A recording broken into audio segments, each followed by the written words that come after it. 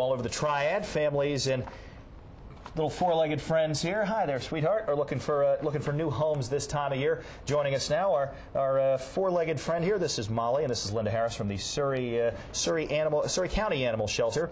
And this is going to be a new segment we're doing every Saturday morning, weekend pet segment. And tell us a little bit about uh, about Molly. She looks awfully uh, happy and peaceful there. Oh, this is Molly. Molly's about a year and a half old. She's Pekingese Cocker Spaniel mix.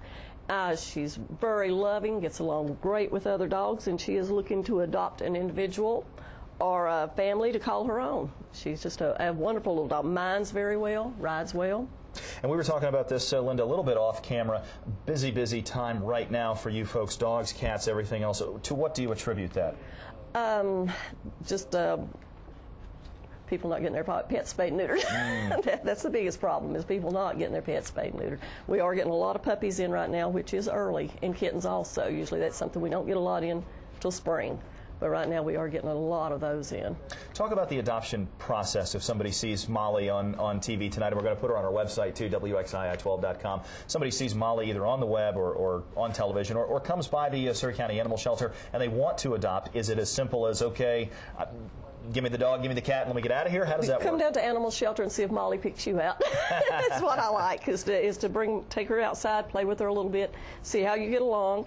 The adoption fee for dogs is ninety dollars. That includes all your vaccinations, your heartworm test, flea treatment, heartworm treatment, and your spay and your neuter on your pets.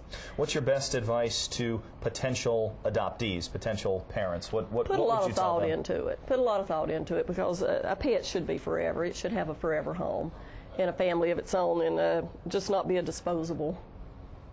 As, as people find them to be a lot of times. I wish people would just put more thought into it. That's right, kind of thing where you folks would probably love to be Right, put out of would. business, but right, you're, we uh, absolutely would. We absolutely would have your pets spayed and neutered, and um, and and take them on to love them. All right, they, they need that. Well, Linda, we appreciate it so much. And uh, Well, Molly, thank thanks you. a lot for being our, uh, our inaugural guest here on our weekend pet segment. Hi there, sweetheart. Thank pretty, you for having Pretty us. little brown eyes. Thank